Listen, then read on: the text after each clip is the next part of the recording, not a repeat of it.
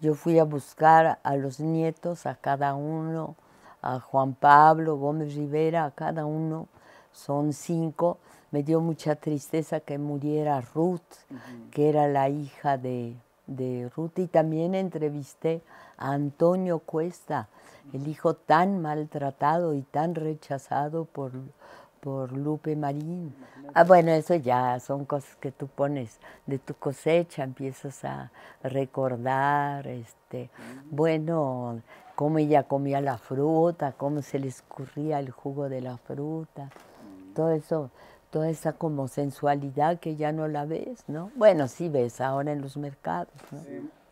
Y también en México, también de Veracruz, de Córdoba, ahora que tenemos un gobernador tan horripilante como Duarte, ¿no? Este, pues se, se recuerda todo Córdoba, Orizaba, Veracruz, a través todo lo que producía la caña, ¿no? Pero en México hay muy pocos lectores.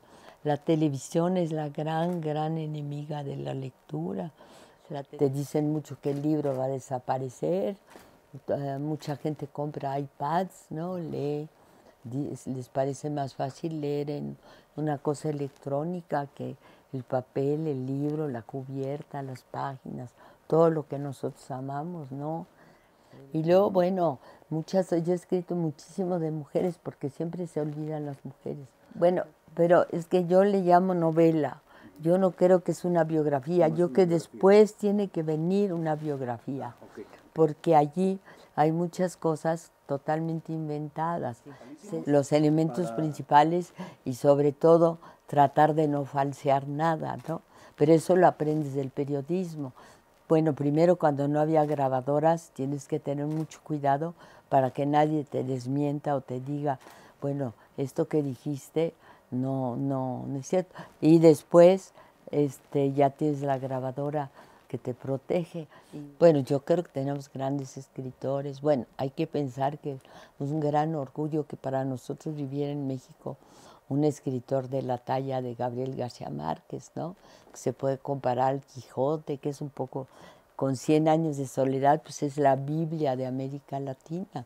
Bueno, uno nunca está contento con lo que uno hace, uno hace lo mejor posible y lo hace lo, pues, con todas las ganas, con toda la pasión y sufre mientras lo hace porque tienes mucho que investigar, que leer y sobre todo mucho cortar.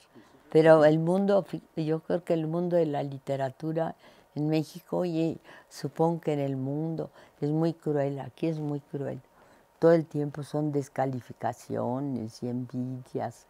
No hay, no hay ninguna solidaridad o muy poca.